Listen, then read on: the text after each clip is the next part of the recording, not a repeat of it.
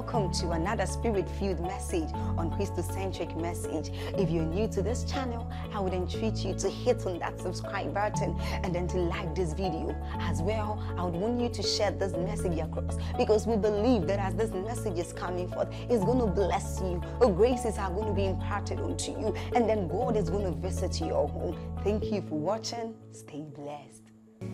The blood of Jesus is not the color red. Take that out of your mind. That's not what we're talking about. The blood of Jesus is not just the liquid that falls from a man, even though there is a physical expression to that. The blood of Jesus is a summation of the revelation. Watch this now. The revelation behind his becoming sin who knew no sin. That an unjust man, a just man, took upon himself the cloak of being unjust. Are we together?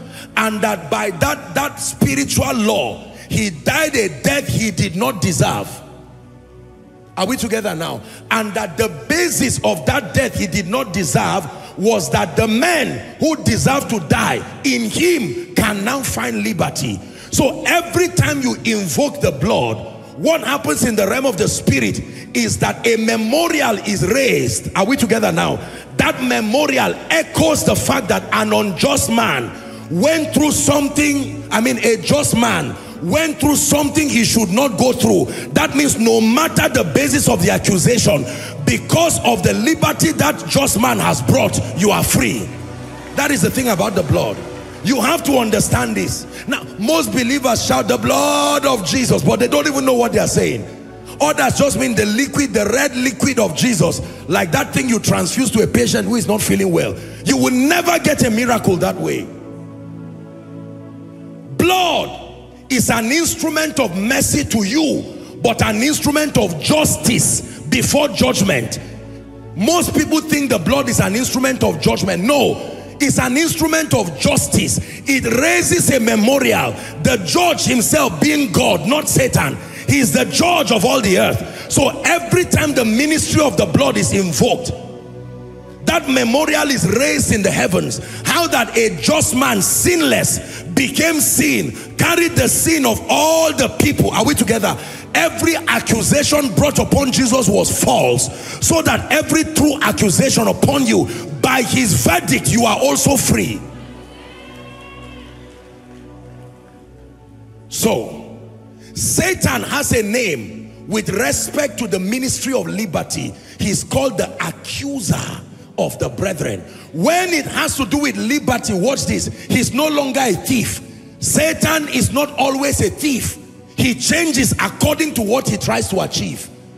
When we talk about justice you have to go to the court the high court, the very court that the judge, at that point, God does not just sit there as creator, he sits there as judge, the judge of all the earth. The accuser of the brethren comes. Are we together? And that he accuses the brethren day and night. What is the accusation?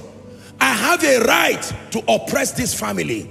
The reason is that the grandfather called me through the spirits and the mediums and he said empower our farms in return I will give you all the female children in this family and I have maintained agriculture they have produced all you know from their farms I have maintained my own part now a young lady a young guy because he came for koinonia he's asking me to lose my 150 year old grip over that family it does not work that way watch this so if you now come and say, well, I think you must go. No. The system of justice must have a basis. Answer judicial people, even when they met out judgment, it is not based on sentiments. According to section this, subsection this, this is the penalty that follows such a thing. Are we together? Do you know that in the court of law, now I'm not a judge, but I know this much that in the court of law, you can have the truth, but if you don't know how to communicate it, you will still go to jail. So having the truth is one thing. Knowing how to communicate it in a way that relates to the laws that govern you. Bring forth your strong reasons. Bring forth your strong reasons. Why should Satan take his hands off your life? Because you are tired of him, you are joking. Why should Satan leave your family and your destiny alone? Because you are tired of him? No, sir. There is only one basis for the liberty of the believer. Christ Jesus and the sacrifice. Christ Jesus and the sacrifice. If you bring yourself and your righteousness, the realm of the spirit reminds you that there are three kinds of sin. Personal sin, territorial sin and sin from bloodline you may be free from personal sin but how about the territory you are part of a territory can sin it is still sin so when you stand before the judge of all the ages the basis of that victory is the speakings of the blood the moment you bring the blood into the equation every accusation doesn't matter how many years doesn't matter every decade because you see listen when God judges, he judges based on who he is, not based on the situation there. When God judges, he judges based on his person. And the Bible says the Lord is gracious and compassionate. You have to understand this. He is slow to anger and he's rich in love. God does not desire that any man perish. This is the character of the judge. Are we together now? The blood leverages on the integrity, the very nature of God with respect to what has been done in Christ. Once you engage the blood, watch this now. Satan has nothing else to say. Because the basis of Satan's operation is the fact that a human will was part of that negotiation. Are we together now? Somebody agreed Satan, you can invade this family. And now you are saying he played his own part of the deal. Gave them whatever they were looking for. Fame or whatever it is. Now grandfather is dead. Now father is dead. You have come into Christ. And the Bible says those things should not hold on to you again. Just believing that they will never happen is a joke. There are rules of engagement. This is what I'm teaching you. Rule number one is that you must know how to engage the blood. Someone say the blood. One more time, say the blood. So every time you say the blood of Jesus, don't just think liquid. Are we together now? No, think justice. Mercy to you or for you, but justice translated as judgment to every other power. Ah, this is powerful, powerful, powerful, powerful. Yes may Rama Jiaduata Bandawani Sekai. Yesu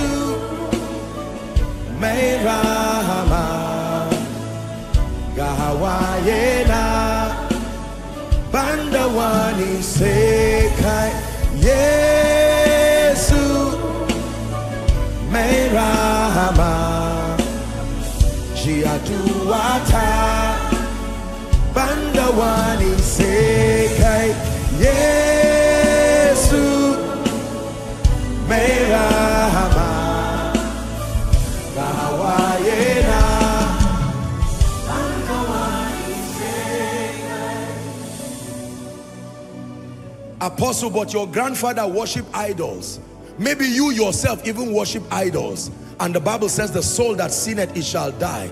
It shall die if it does not come to the mercy seat. There is something called the throne of grace. You know one thing with the throne of grace, there is no qualification to get there. Christ is your qualification. The throne of grace does not have any entrance exam you write. You come. That is the throne that you can come as you are. Provided it is when you come that you encounter mercy and you encounter grace to help in time of need. Who is learning now? Look at me. Let me tell you the truth. I got to a point in my life where I took a careful examination of my life, my family tree, the realities that were before me. And I knew that I needed to dismantle a lot of altars a lot of altars you've heard my story as a man of God I was being oppressed by demons. Not many people will be honest to tell you this. People will just hide and make it look, it's a lie. There's no point hiding. Vulnerability is not weakness. That there was once upon a time and because of the privilege of the prophetic, I will be lying down in my room and I will watch these spirits enter. It's not, I, am not talking of, it's, uh, you would see them. I shouted Jesus like the Bible says I should shout it. And they seem to be unaffected. I knew that mm -mm, God has to be true. There is something I do not know. How could the name of Jesus be so powerless? No. Then I found out that the name was not in the chanting of it. The name was not in the pronunciation. Mm -mm.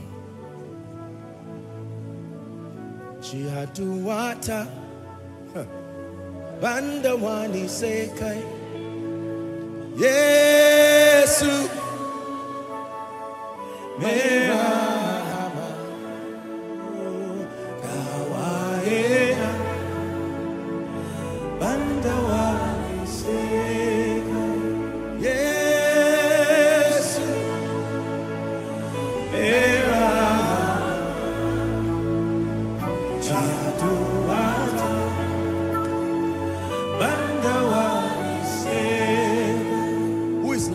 tonight?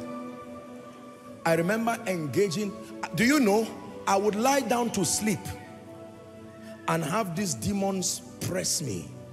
I could hear people speak, but to wake up, it was drama.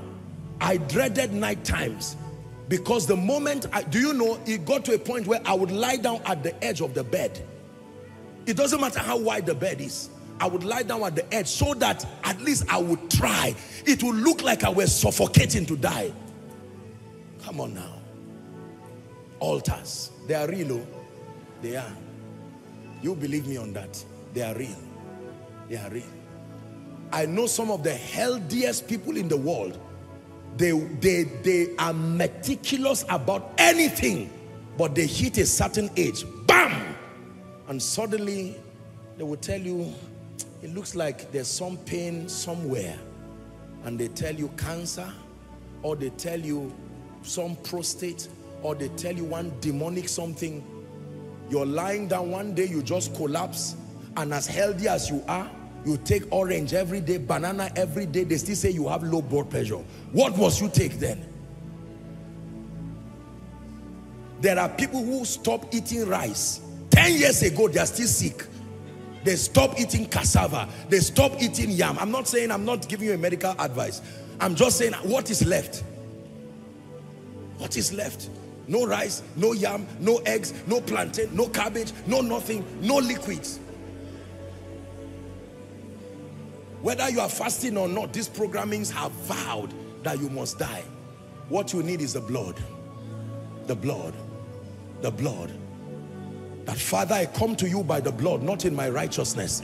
That every demonic installation that predated my existence, the Bible tells me I can bring forth my strong reason and I come to the judge of all the earth. I come to the judge of all the earth. I come before the blood of sprinkling that speaketh better things. Hitherto, these altars have been speaking negative things over my life, over my family. But I come by the blood and I invoke the blood. The blood upon altars. It doesn't matter what programming I, it, it, may not be your fault it's not a cause to come from the family you came from but you need to do something about it now before it tears your life into pieces let me tell you the truth please look up one of the biggest challenges with the church is that we are not entirely honest with ourselves we are more conscious of our reputation than dealing with what needs to be dealt with. So there are many people who have all kinds of troubles, sicknesses they are hiding, troubles that they should deal with it and we just carry this facade of things working well. Victory is real. There's no point faking it. If it is not working, take responsibility and iron it out in righteousness. Someone said the blood. Yes, sir. The blood. Because for some of you, based on the description you are supposed to be the next physical priest right now as a medium to carry that thing based on the description whether you know it or not and there are some of you there's this demonic thing now uh, do I go into these things?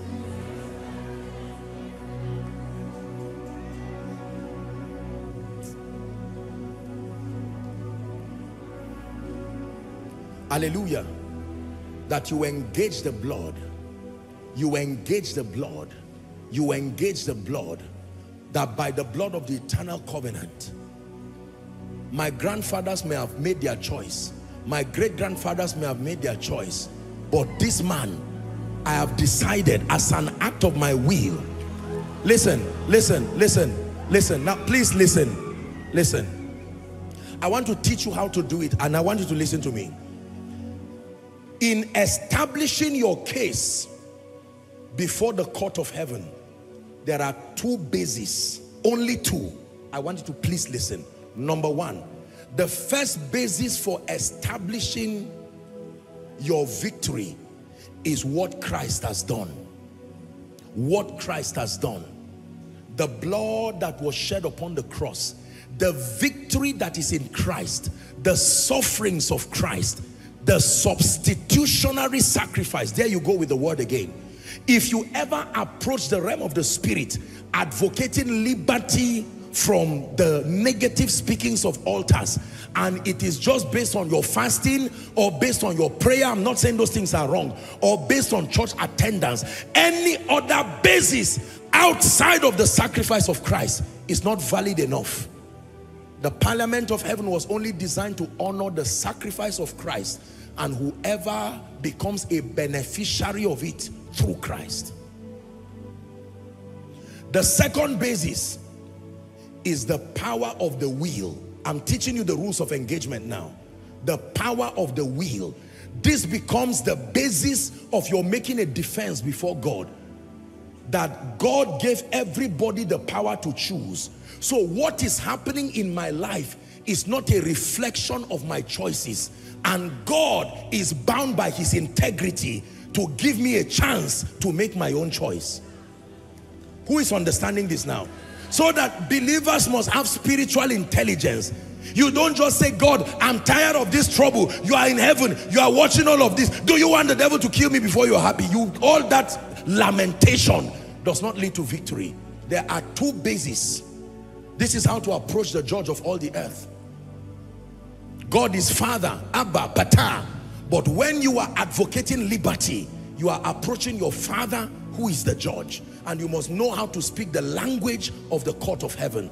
The basis for victory, number one, the substitutionary sacrifice of Jesus. The blood that speaks better things. The blood that has annulled everything. Calling you out from every tribe and every tongue and every nation Lord it is true that I am Yoruba it is true that I'm Hausa. It is true that I'm Igbo. But when I came into Christ, I was grafted into a new kingdom. And it becomes unfair for me to be a victim of the foundational limitations that came with my natural descent. Are we together? The first birth, I didn't have the power to choose. So now in Christ, the second birth is by choice. The first birth, you appeared. Who is understanding this now? You are speaking the language of justice. So in addition to the substitutionary sacrifice of Christ, the Bible says, I set before you life and death. I set before you blessing and cursing. But these spirits are not giving a room for me to choose. Because it looks like the oppression vetoes my will. Therefore, God has to come in and give me a chance. If I use my own will and I choose destruction, then that becomes my lot. But until then, Everyone on earth by God is given an opportunity, even if based on the law of time and chance. The blood, the blood, the blood. I am no longer interested in serving the idols that were served before me. I am no longer interested in that discussion that happened across the table. Did you hear what I said? I am no longer interested because I'm a child of God because I'm a child of God and because Satan is a stubborn spirit he's not just going to say ah okay I've had you mm -mm, he's not like that oh It's not like that. So, the blood, number one, let's finish up. I'm showing you how to dismantle demonic altars. You break the hold of demonic speakings by engaging the blood. The basis for that is the substitutionary sacrifice of Jesus. Are you ready for step two? Step two also doubles as how you rebuild an altar of righteousness. You must engage what we call the covenant of sacrifice. And listen carefully, I'm not talking money. Pay attention. So that you don't let the devil cheat you now. Because some of you are very, very interesting with matters of money. Once you hear sacrifice, aha, there he goes. -mm, mm the sacrifice we're talking about here is not money at all. The business of your destiny is more serious than Naira and Kobo. Are we together now? Did I speak about repentance? Yes. Part of breaking demonic strongholds is to also repent on behalf of yourself and on behalf of those connected to you. Without repentance, the blood cannot speak. I hope you know that. The blood does not speak indefinitely. The blood does not speak arbitrarily. The blood is sponsored by a broken heart. The activation of the power that is contained in the blood is sponsored by a broken and a contrite heart. Father, I come before you admitting that my grandfather buried 30 virgins, buried 20 children. I admit the fact he may have gone, but in the name of Jesus, the Bible declares that if we say we have no sin, we deceive ourselves and that the truth is not in us.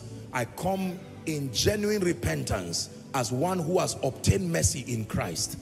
And upon that ground, even the finished work of Christ, I advocate mercy over the legal speakings. You see that? Then number two, the covenant of sacrifice. Let's deal with that because I want us to pray. Now, the covenant of sacrifice is a very serious covenant. It is not a one-off covenant. Please listen everybody. The covenant of sacrifice is the other parts to this equation of rebuilding altars that many believers have not been interested in. The covenant of sacrifice is not a one-off sacrifice. Please listen. It's not a one-off sacrifice.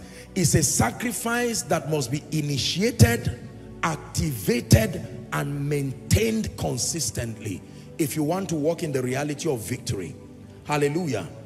The first object you are going to sacrifice if you want to rebuild an altar of righteousness that perpetually shuts every evil altar is your life, your own life. Romans 12 and verse 1. You want to rebuild an altar of righteousness? The first sacrifice that it demands is you. Total surrender. Total surrender. I beseech thee, brethren, by the mercies of God, that ye present your bodies, not just your spirits. Who is learning? Your bodies, a living sacrifice, holy, acceptable unto God, which is your reasonable sacrifice. Now, look at me. There are many believers who do not want Satan to have a legal claim or a hold of their life, but a part of them is still not dead to Christ. For as long as there is still a part of you that is not interested in the things of God, Satan still has a hold. The Bible says, Satan cometh to me, Jesus is speaking now, and he cometh to me and found nothing. There are many believers today, when Satan comes, he will still find something that gives him a legal basis. The sacrifice of your life. Do you know there are people who want to be delivered but not to be born again? They are not interested in being born. Don't talk to me about being born again. Don't talk to me about being serious with God. Just cast out this demon and let me go. How much is it? If you need money, I can give you. Unfortunately, the first sacrifice is not money. It is your own life. A committal to knowing Jesus, loving Jesus, living for him all the days of your life. If you are not prepared Look at me. How many of you know that every altar is maintained by priesthood? I didn't teach you that. priesthood is the spiritual system that maintains altars. Are we together now? It fans the coals, the ambers, so that those speakings continue. When the priesthood that powers an altar fails, the operation of that altar will fail. The altar is as powerful as the priesthood that keeps it, you know, thriving. And for many people, they do not know that every altar that speaks against you has men and systems that have literally sacrificed their lives. I want you to believe this. There are people who don't do any other thing except to maintain altars. And there are strict demands.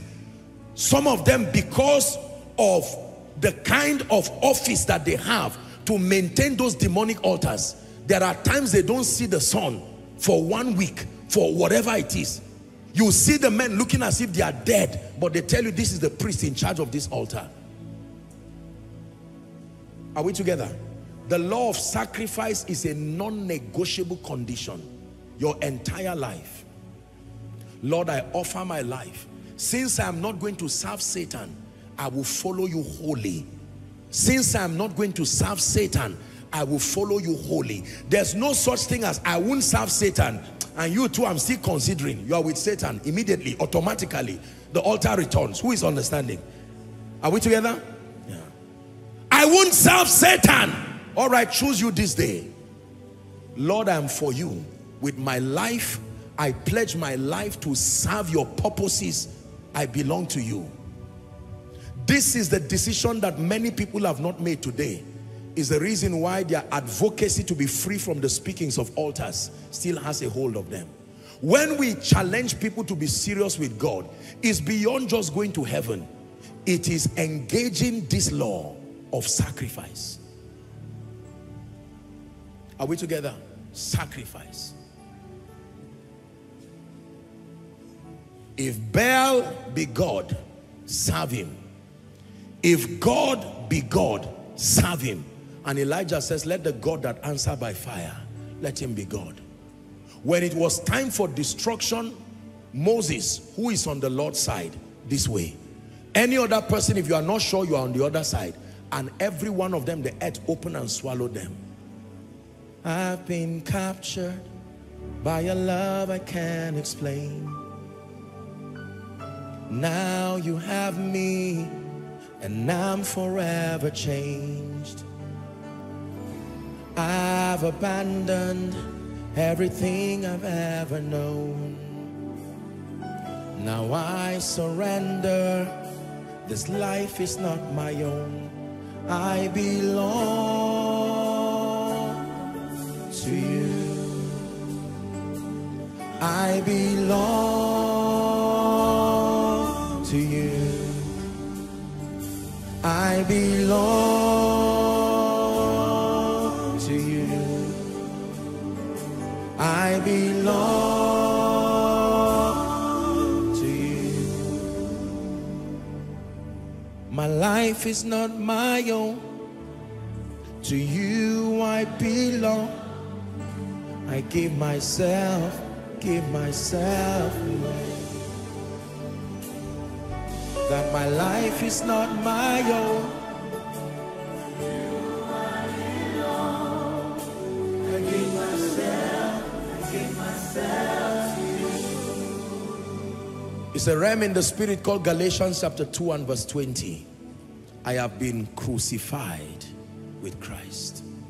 Nevertheless I live, yet not I, but Christ that liveth in me. And the life that I live today in the flesh, I live by the faith of the Son of God who loved me and gave himself for me. Believers, please hear me.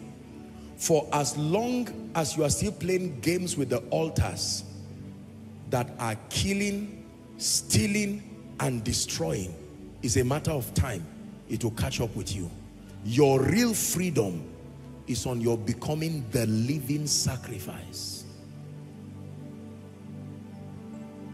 Before your prayer, before your fasting, before your giving, your life. Who is learning tonight? There are people who will come to church even if the series is rapture, they will never be born again. They will watch people cry and say, Kai, this thing touched me, oh. but make an altar call. They will never come out. Now, I'm not condemning you, but listen, let me tell you the truth. You are authorizing these altars to destroy your life. And let me tell you how God delivers families.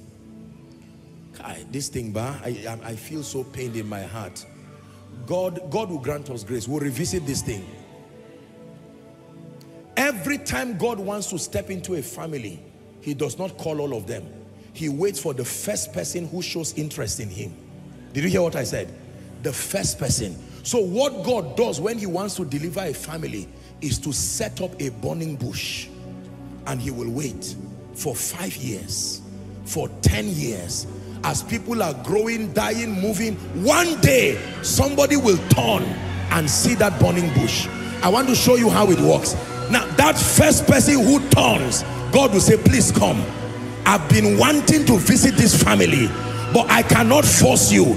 I've been creating the burning bush, the dreams you've been having, the visions you've been having, the prophetic words you receive in the bus as you are passing. All of those things are signs. Signs. Now listen, listen, listen. All God needs in every family is one representative, one.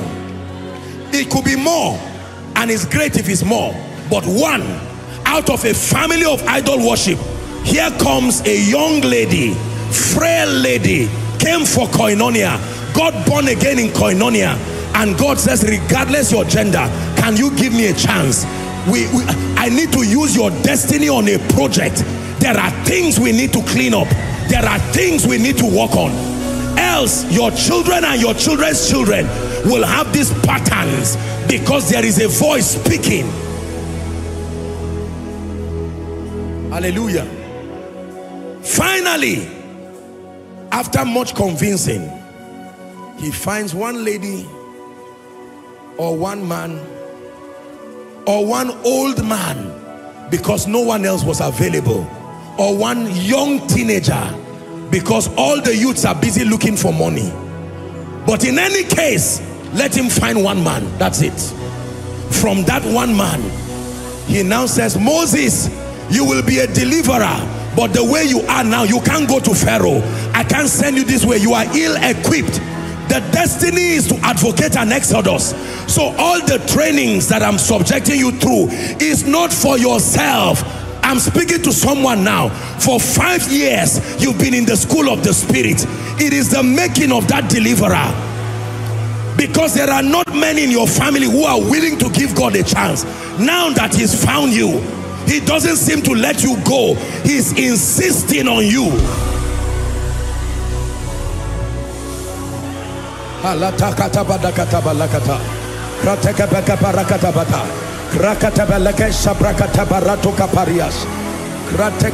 Parantos yata. Insisting on you. Insisting on you. Insisting on you. Insisting that you must carry that anointing. Insisting that you must build that capacity. Insisting a sacrifice of your life. A sacrifice of your life building that capacity building that formation equipping you with the tools because you are going to be confronting altars altars older than you altars older than your grandparents altars older than your parents. Now the question is who is willing to give God a chance with your family give God a chance with your life to say Lord like Isaiah here am I send me make me then send me let my mother not die. Make me and then send me. Let my father not be destroyed. My siblings may not be as spiritual but before they catch up I am available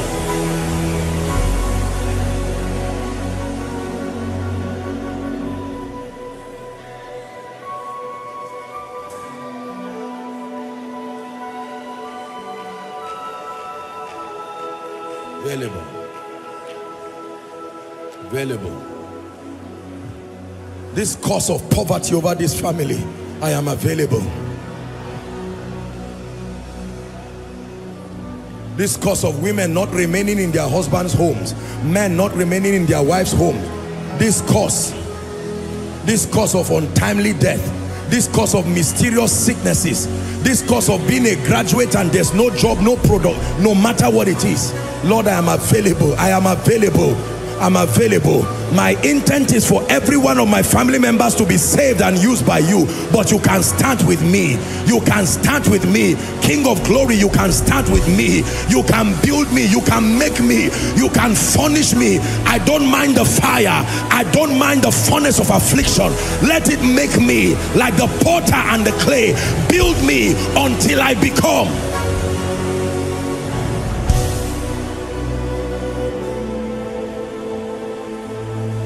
Build me. Someone pray.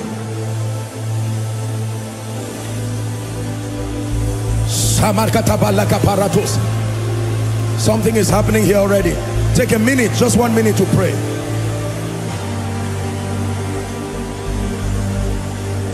Pray. I was praying and fasting, crying out. And then my ceiling just disappeared and I saw this creature. Giant creature with eyes as big as the head of a human being. Red fierce eyes looked like a dinosaur having a tail that had its own life. And it was looking at me. And it spoke to me. It said so you think you want to bring God's people into abundance? I said so this is the spirit. I know that lack of productivity leads to poverty but make no mistakes about it. There are spirits there are programmings that enhance poverty. There are people who have the boat the net the fishing skill but they never catch fish. Their issue is not laziness. When I saw that I said this is it. I will never serve the gospel begging for bread. I will never raise a people begging for bread. But I confronted that spirit I saw him, he saw me. Thanks be to God. Every devil knows what victory is. This thing is beyond buying and selling. Oh, there is a realm where you stamp some things in the spirit and you return back to the earth and it will be as if you are holding a charm on your hand. Men eager to favor you, doors opening for you, and people say you are lucky. No, you are not lucky, you are victorious. Victorious is the word, not lucky. Victorious. Hallelujah. Listen, you've heard the story that one time I had this vision and I was serving people bread. There was some machine, sit down for one moment.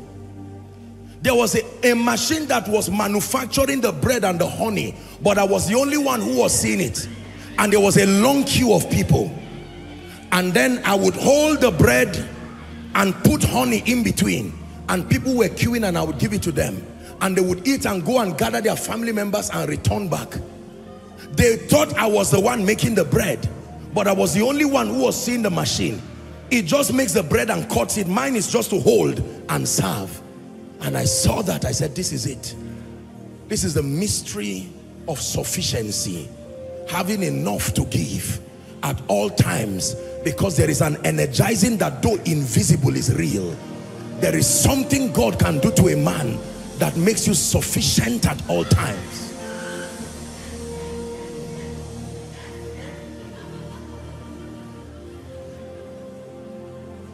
Hallelujah.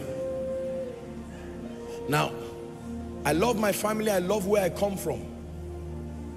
But I saw certain things that happened to the men that I said, this thing has to be stopped especially the firstborn men.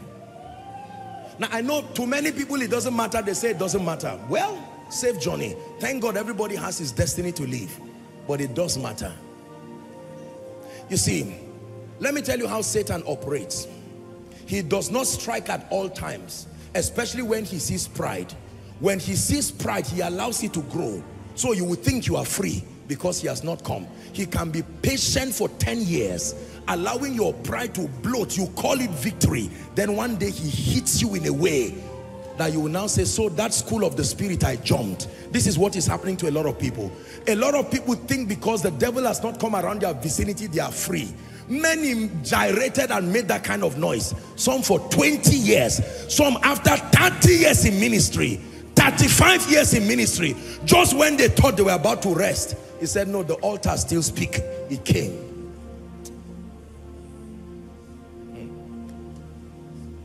There's no taking chances with this thing. Better verify that what you call liberty is liberty indeed so that you are not celebrating shadows in ignorance. Just because the devil is quiet does not mean you are free. I'm not glorifying satan. I'm opening you up to the truth. Dominion cannot happen if you do not understand altars. Whether it is satan you want to serve or god there must be altars. There are covenants with god by the mercies of god that run this ministry you see. There are altars. There are speakings. There are things God said to do that if it is done this ministry will never go down. There are things in the Bible we learn generally but there are personalized instructions. One of them is if you can let men see me there is nothing I will not give you if you can hide behind the cross and leave this blind pursuit of fame this blind pursuit of name, man of God, MOG. Run away from that deception. And I said, that's it, Lord. For you to be lifted high, all I want is for you. For you to be glorified, for you to be lifted. All I want, you know, Someone, no, no, I'm saying this just, just to joke with my people. Someone made a statement and said, he's watched all our revival meetings. He said, we arrange a program like Koinonia. There's no special introduction to Joshua Selman. And I'm saying there's nothing wrong with introduction. I say if I go to preach somewhere else, they can introduce me. But I don't have time for that. It's just my, it's not, it's not like it's wrong. I don't have that time at all. Once it's time to preach, I wait impatiently. Once it's my turn, get out of the way for me. Let me do what I was born to do. You see that now. Now, it may not apply to everybody, but I'm telling you, one of the things you learn in rebuilding altars, please listen, I'm about to make a statement now. There are truths you will find from scripture, but in rebuilding a personal altar, God is going to demand certain specific covenants from you that is not general. If this does not happen to you, you are talking to a familiar spirit, not the God of the Bible. If it is the God of the Bible, are we together now? In rebuilding a covenant, there are secrets and mysteries unique to you that he will give you. And these instructions may not make sense to everyone. That's why you do not teach it as a doctrine. If you teach it as a doctrine, you will confuse people and mislead people because it can bless you but can destroy another. And depending on the gravity of the assignment, the instructions can be so strict even to your personal life. It is true. There are times because of the nature of the mantle and the oil you are carrying, God will tell you, my advice for you, you cannot have more than three children. You can have as many. But this is my terms with you. If you want to host this grace as safe as possible these are the terms. The degree of compliance is the degree to which you will command power within creation. Now you can't go around telling people if you have more than three children you are wrong. No. But this is your personalized dealing.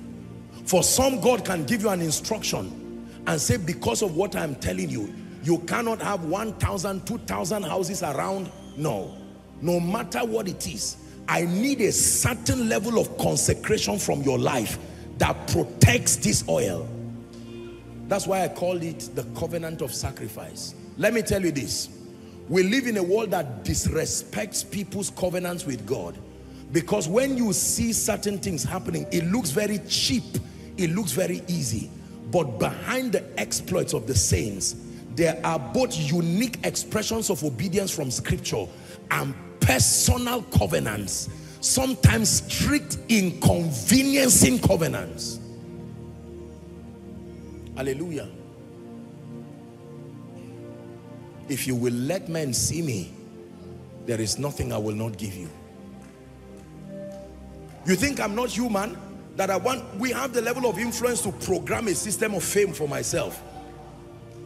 But you can choose to do what you want to do and reap the consequence of disobedience.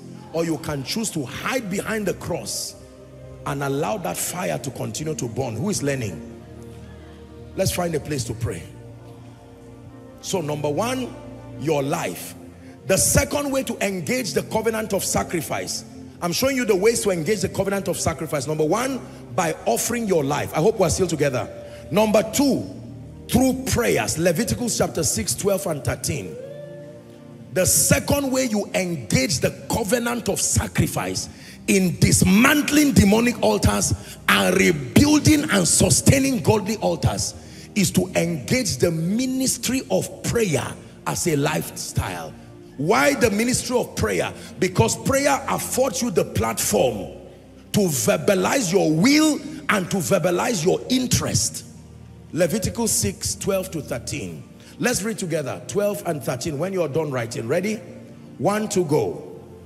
And the fire, come on, let's read with energy. Let's start again. One to go. And the fire upon the altar shall be burning in it. It shall not be put out. And the priest shall burn wood on it every morning. Ah. And he shall burn thereof the fat and the peace offerings. 13. The fire shall ever be burning upon the altar. This is called the covenant of sacrifice. You want to command dominion there are three entities that are mentioned there. One, the altar. Two, priesthood. Three, fire. The Bible says the priest shall put wood every morning. Every morning, not every weekend. Every morning. You want the altar to keep burning, to keep speaking blessings, to keep speaking faith. You pray not as a response to tragedy you pray not as a response to calamity. You pray as a lifestyle, not governed by fear. It is the modus operandi of dominion. So every morning, you are signing that spiritual register. I am a priest maintaining this altar the altar that speaks favor the altar that speaks blessings the altar that speaks speed the altar that speaks open doors the altar that speaks ever increasing glory for koinonia. It is found through the covenant of sacrifice. Let me tell you the truth. Like every human being i admit to you there are times that i get very tired you have no idea. But it's a covenant. I know i have to get up. I know i have to pray. Sometimes you are tired i return from meetings I don't even know if I'm awake or I'm asleep. But in the name of Jesus, sometimes I just cry to God for strength, put my head for a few minutes, but I remember. I remember my destiny. I remember you. I remember the terms God gave me. And it brings energy. Lord, I obtain grace. I must sign that register. Shamaka. It starts with sleepy eyes. It starts with a draggy voice. But soon, what you see becomes greater than what you are feeling let me tell you this. Never stop prayer because you are sleepy. Now sleep but don't stop prayer because you feel sleepy. There is a supply of strength that will eventually swallow up. Satan knows our bodily limitations. So he will tell you you are you are human. Now don't get me wrong. There are times i sleep off. I remember one day i was praying i knelt down. I'm telling you i knelt down with seriousness. My bible was i was typing. I can't even remember that i stopped typing I know I was tired. That's the last thing I remember. And it was not a vision. It was not anything. I just slept like deep sleep, kneeling down there. I just got up and I said, well, Lord, you, you, we do not have a high priest who cannot be touched. Jesus slept on his way to a crusade ground. On his way to a crusade ground. Honest admission. Honest admission. It's not 100%. I sleep. Oh. Sometimes you get honestly tired. And while you are praying, dragging, just saying, and mercy, grace, mercy, grace. It's not because that's the only thing you know. It's just that that's the only thing that can sustain you at that time. But you must pray. Most of you have not yet seen prayer as a covenant, as a priesthood duty So when things are fine, you don't pray. Until there is tragedy, then you quickly come. That fire brigade epileptic spiritual lifestyle cannot produce dominion. Pray for me, pray for me is good. I'm committed to praying for you. But let me tell you the truth. Everyone must leave this place knowing that you don't rebuild an altar by putting stones. You rebuild an altar by putting in the wood every morning. You wake up. Father, thank you in the name of Jesus. This is the day that the Lord has made. I speak into this day. I speak into my children's day. I speak into the day of my husband, my wife. I speak over my parents. They are unbelievers. I'm trusting for their salvation, you may say. But Satan, you have no hand in their life. I stand as a bridge. Before they meet Christ, they enjoy the safety. Who is understanding this?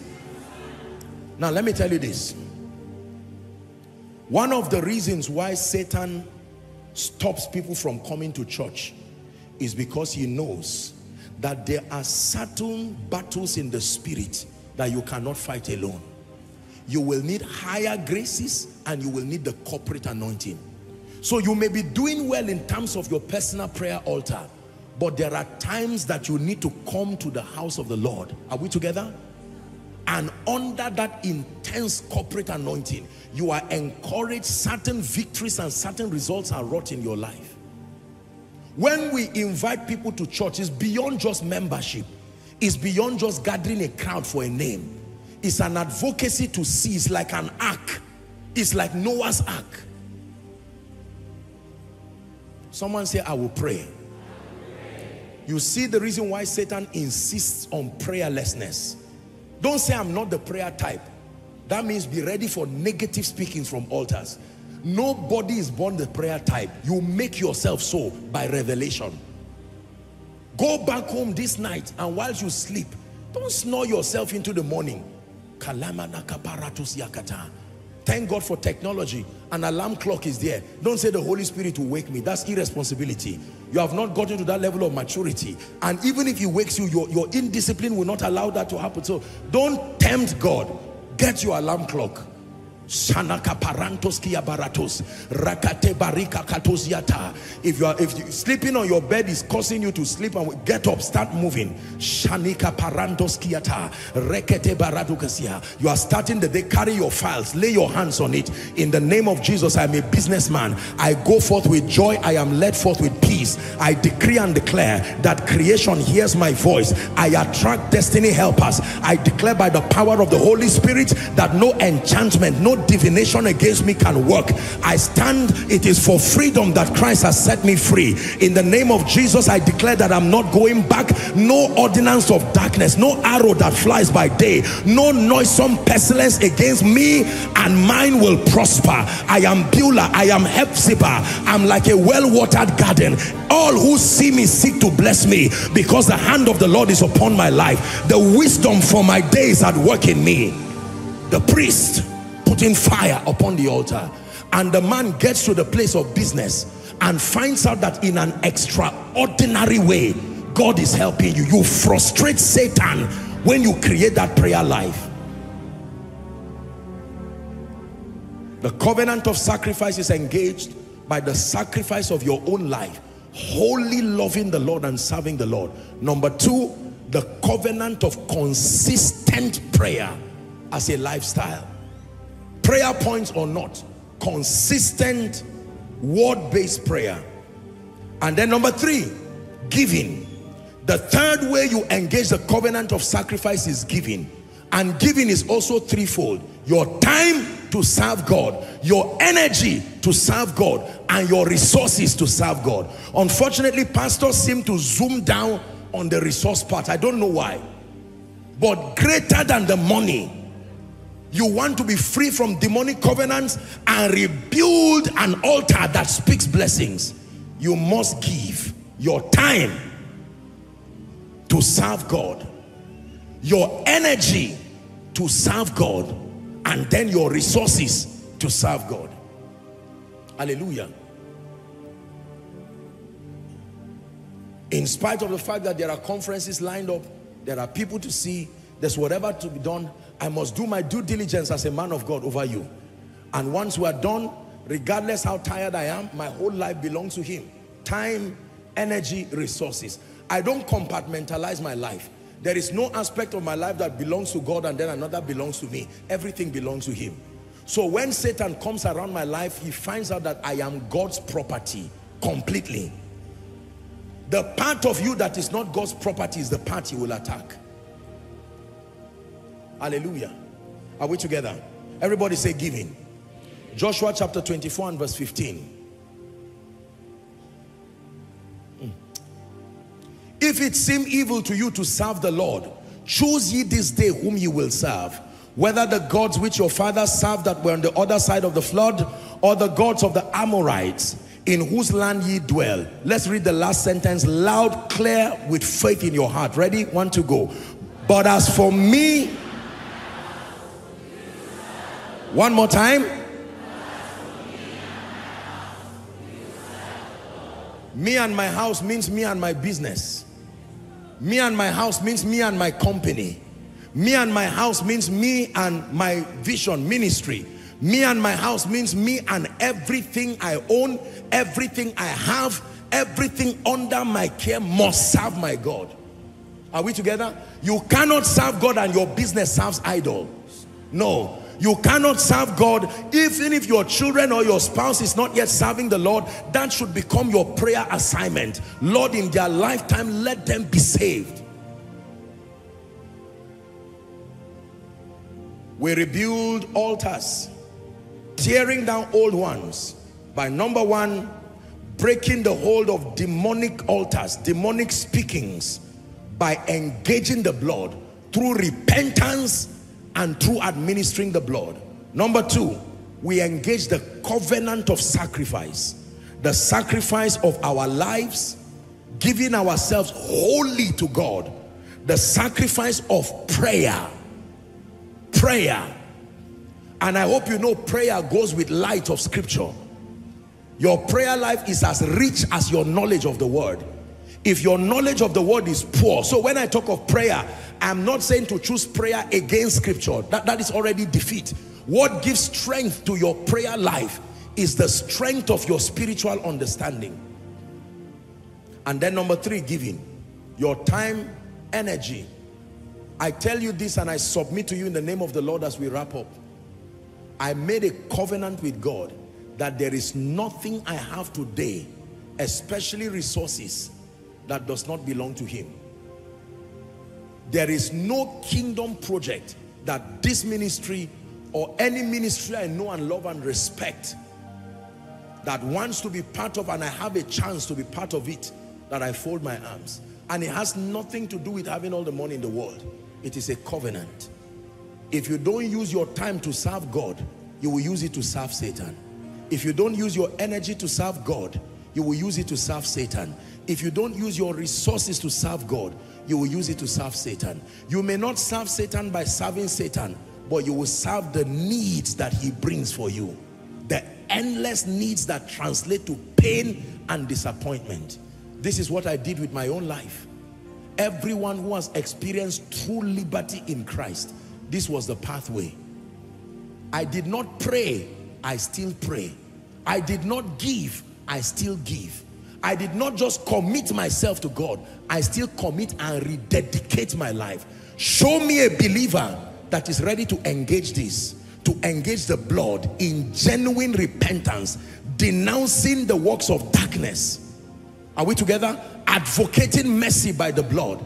Number two, show me a believer that understands the covenant of sacrifice, the sacrifice of your life, wholly loving and following the Lord the sacrifice of um, what's the second one again?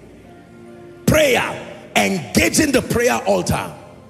And number three the sacrifice of giving of your time your energy and your resources. I show you one person who has put an end to the reign of darkness. Like that gardener who will never even give weed a chance to grow. Because in this life demons we are not given liberty to bind demons and trap them in one place indefinitely. They have a legal right to operate within the earth. And their legal right is because there is still one more person alive who has freely donated his will. Are we together now? Satan should not be an a legal occupant, but because there is one person created in the image of God who has still donated their will, Satan will still latch on that one person to operate upon the earth. Your assignment is not to bind them and keep them somewhere trapped forever. That liberty is not given to you yet. Your assignment is to sanitize your spiritual environment, to drive them at bay, that they do not become interruptions to your becoming, to your serving the purposes of God and living a victorious life. Who has learned something tonight? Our time is up, but spare me five minutes. Let's do some prayer. Please rise up on your feet.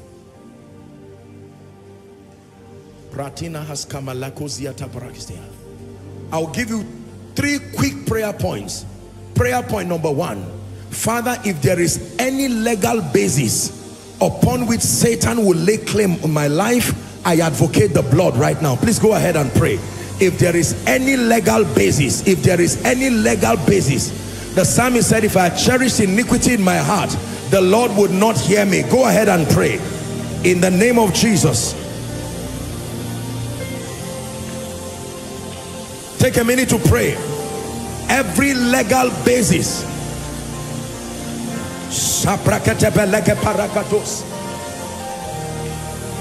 The sin of commission, the sin of omission. I obtain mercy by God. I obtain mercy by God. Sins of bloodline. I obtain mercy by God. Territorial sins I obtain mercy from God. Open your mouth and pray with humility and brokenness. One minute. Salaka parakata branda gabarato sevres. Lekrepete marakato karatos.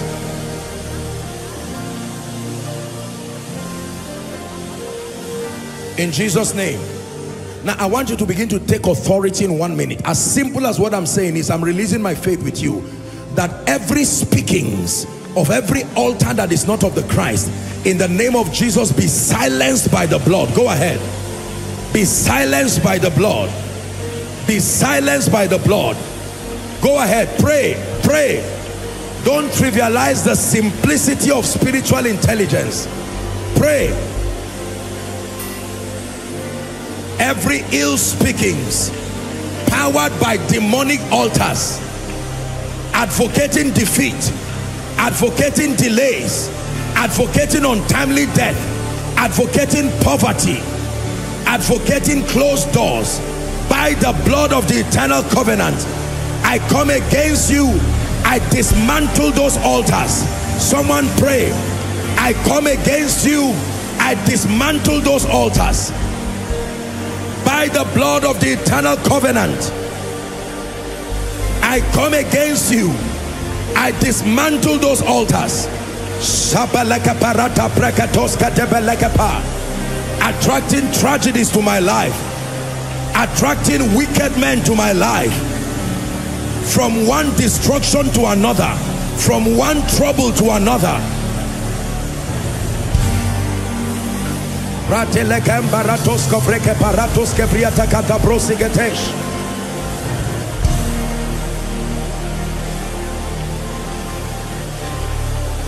In Jesus' name we pray.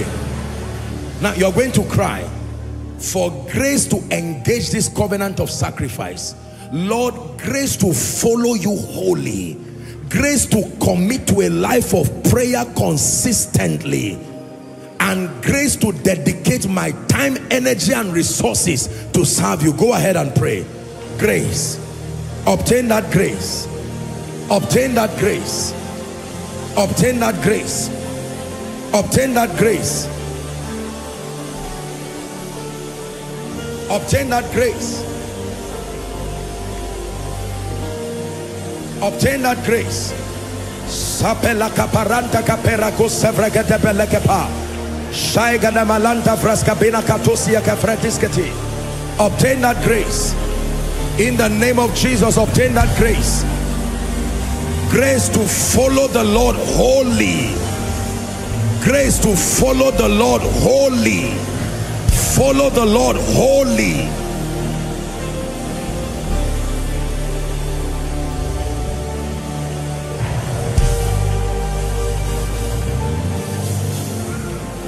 Grace to commit to a life of prayer.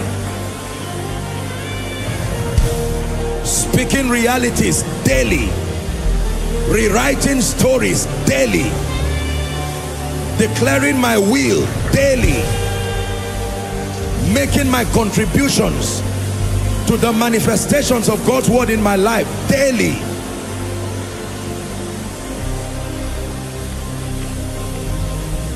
Obtain the giving grace. The grace to give God your time. The grace to give God your energy. The grace to give God your resources. Not by manipulation, by revelation.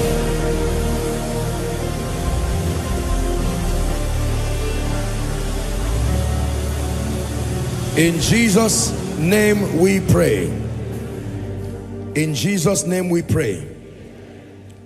I want to make the altar call quickly. We're out of time. And then I'll speak over your life and we're done. I don't have to cajole you after such a service. You need Jesus. You need Jesus quickly. You need Jesus now. The power of the cross, the power of the blood is the key. I told you that every demonic altar is powered by this central altar of sin and iniquity. And for someone you came to church as you heard me speak, the Holy Ghost began to speak to you. Make it right with God now. I will count one to five. Leave your seat quickly and come and stand here. One. God bless you. God bless you. Don't give Satan a chance with your life. God bless you. Come. Come. God bless you. God bless you. Perhaps you may be the first God is counting on to dislodge these satanic demonic altars. Don't let Satan win over your life. He's giving you an opportunity to make it right. Come. Don't say there are many people in front. Uh-uh, uh-uh. This is a personal business of destiny. Come. Keep clapping koinonia. Let's celebrate them as they come. Apostle, I want to make it right with Jesus. My grandfather could not make it right with Jesus. My father could not make it right with Jesus. But here's my chance to make it right. Here's my chance to give myself wholly and completely to this one who died for me. Come, come, keep clapping. 10 more seconds and we'll begin to pray. If you're coming, make your way, please. Those following online, God bless you as you come. God bless you as you come. No matter how bad things are, Jesus wants to give you a new beginning. Make your way here. Hallelujah. I want to thank all of you for making this noble decision. Listen, everything you've heard me preach tonight is true. And I want you to know that your coming here is an indication that you are closing a door permanently to darkness, to failure, to mediocrity, and you're opening up a new chapter in your life. And I salute your courage, young and old, male and female, thank you. Lift your right hand high above your head. Please say this after me as loud as you can. Say, Lord Jesus, tonight I declare that I love you with all my heart. I declare that I cannot help myself except you help me. Right now, I receive Jesus into my heart as my Savior, my Lord, and my King. I declare that the power of sin, Satan, hell, and the grave is broken over my life. From tonight, I am the righteousness of God in Christ Jesus. I go forward ever and backward never. In Jesus' name we pray. I pray that the grace that keeps, may that grace keep you. You walk in righteousness and from tonight it's a new story for you. In Jesus' name I pray. Please look to my right, that will be your left. There are counselors who are waving the placard. Do cooperate with them. They will have a word with you very quickly and then you will return to your seat. Let's celebrate them as they go. Hallelujah. Hallelujah. Praise the name of the Lord. Okay, um, let me just appreciate the presence of um, a dear woman of God, the, Deaconess Ibiso Adebisi, the wife to the Executive Secretary of Living Faith. I understand she's here. God bless you, ma. Uh, okay, God bless you. Thank you. Thank you so very much. We're honored to have you in our midst. May God bless you, you and all that came with you in the name of Jesus. Are you ready to receive? Let me speak over your life and then we're done. Father, in the name of Jesus, I pray over everyone here under the sound of my voice. Every altar speaking against your life, it doesn't matter what it is speaking, by the blood of the eternal covenant, those voices and the effects of their speaking come to end now. Those speakings of the altars come to end now. I decree and declare by the power of the Holy Spirit, let a new altar speak righteousness, speak favor, speak blessings, speak advancement, speak restoration, speak increase, speak new levels, speak advancement, speak multiplication in the name of Jesus. Everywhere the altar has spoken death, I speak life. Everywhere the altar has spoken poverty, I speak increase. Everywhere the altar has spoken curses, be blessed. Everywhere the altar has spoken delay, I declare go forward. In the name of Jesus. Everywhere you have been stagnated in life and destiny, as a result of this prophetic declaration, let your wilderness become a fruitful field. Let your wilderness become a fruitful field and let your fruitful field become a forest. In the name of Jesus. Someone shout it, say, I am free. One more time, say, I am free. For the last time, say, I am free. Give Jesus a big hand clap. Celebrate the King of Kings and the Lord of Lords. In Jesus' name. We're off for UK. Please pray with us. Remember that um, we're one big family. We're taking the power, the grace of Jesus to the United Kingdom. Make sure you connect. It's 5 p.m. begins from Thursday, 5 p.m. Friday in the morning. And then the final session is um, 5 p.m. Make sure you follow all of our social media platforms. Please invite everyone to connect. I'm going to be sharing some things that I think uh, very important that the Lord placed in my heart. We're trusting God for miracles, signs, wonders, for all kinds of deliverances, for all who are within the United Kingdom, even though the space, uh, physically speaking, there might not be space again, uh, but you can connect online. Connect online with an open heart and trust God to give you a great encounter in Jesus' name. Have you been blessed tonight? Let's share the grace in fellowship. The grace of our Lord Jesus Christ, the love of God, the sweet fellowship of the Holy Spirit, rest and abide with us now and forevermore. Surely, goodness and mercies follow us all the days of our lives as we dwell in the house of the Lord forever and ever. Amen. God bless you. Enjoy liberty.